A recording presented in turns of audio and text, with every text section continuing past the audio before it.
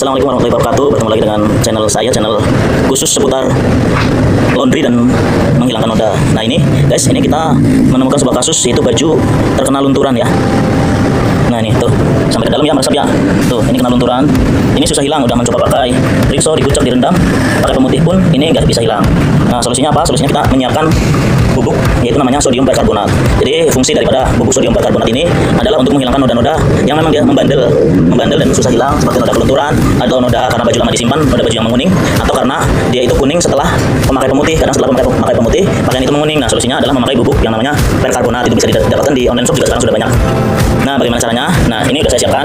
Saya tadi menyiapkan setengah sendok teh saja, setengah sendok teh bubuk bikarbonat lalu dicampur dengan air sedikit saja lalu diaduk lagi nih. Nah, lalu kita siapkan ini sikat gigi juga. Bagaimana caranya ya? Kita lihat dulu caranya berikut ini. Nah, ini kita lihat noda yang kelunturan tadi, lalu kita coba uh, basahi saja nih, sedikit-sedikit aja. Nah, nih kita coba nih, ini nodanya nih tuh. Nah, kita tempelin kayak gini aja, tempelin aja dikit-dikit saja tuh.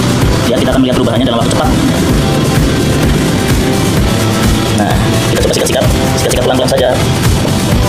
Lalu ambil cairannya lagi, sikat lagi. Perlahan-lahan sudah mulai menghilang guys. Tampak sudah mulai menghilang. Sedikit-sedikit saja ya. Tuh. Karena cairan ini juga kalau terlalu banyak itu agak menyengat ya. Baunya itu agak menyengat. Jadi disarankan untuk yang belum biasa itu pakai masker atau kacamata untuk melindungi mata.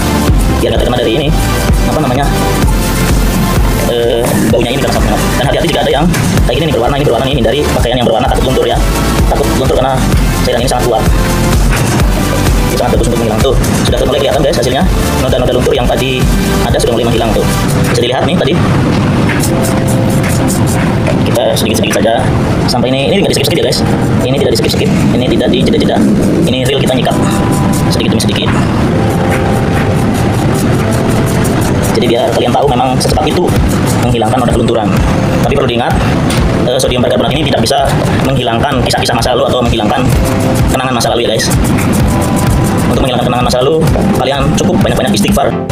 Kan? Udah mulai kelihatan hilang. Udah ada buktinya. Nah inilah caranya.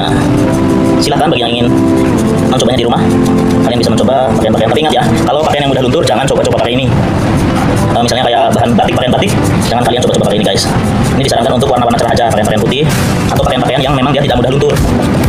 Perlu diingat itu ya teman-teman sekalian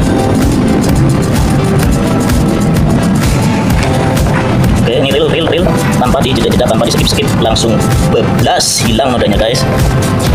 Ya, sudah, sudah, sudah, sudah hilang semua. Ada lagi nggak nodanya di sana? Oh, ada lagi dikit nih sebelah sini nih. Ini ada lagi guys, ya. Oke, kita akan coba lagi nih. Jangan dijeda guys. Jangan dijeda.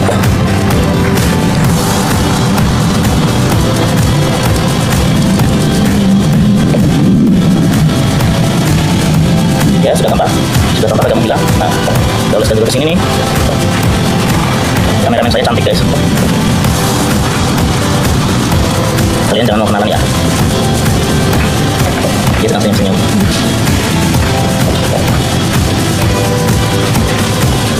Tara hilang di sini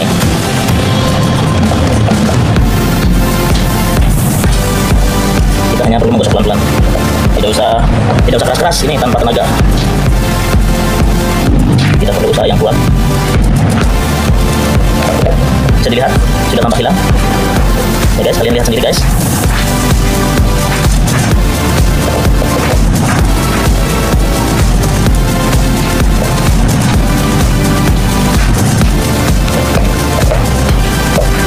Oke hilang totalitas semuanya Oke silahkan bagi yang berminat atau bagi yang ingin tahu info-info seputar menghilangkan noda silahkan subscribe channel saya ini atau follow channel saya ini. Terima kasih semuanya. Nih hasilnya guys. Sudah bersih. Tuh. Telah suci kembali seperti Fitri yang telah kembali Fitri. Ya. Oke guys. Terima kasih. Assalamualaikum warahmatullahi wabarakatuh